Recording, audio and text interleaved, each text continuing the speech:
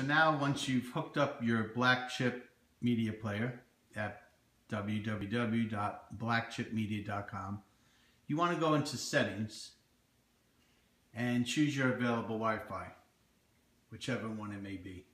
If you don't have the cursor, you just click it down and choose your Wi-Fi. Mine's called BKLYN.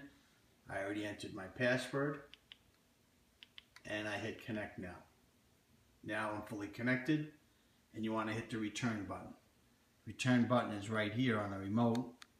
If you don't have this particular remote, you'll see like a half round circle and you'll just hit return. Then you will go to launch media player.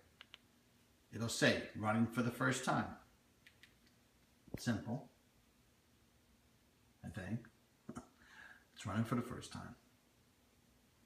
And what this will do, this will put all of the add-ons and all the movies and all the uh, everything that's supposed to be on the unit on the unit. It's a two-step process, so we'll do two videos.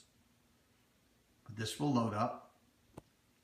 And what you want to do is you want to install the black chip build right here. You click it, it'll give you a two-step process. Once the first step is done, then it will install the second step. And I will make another video right now so nobody gets confused. So it'll be a two-step video.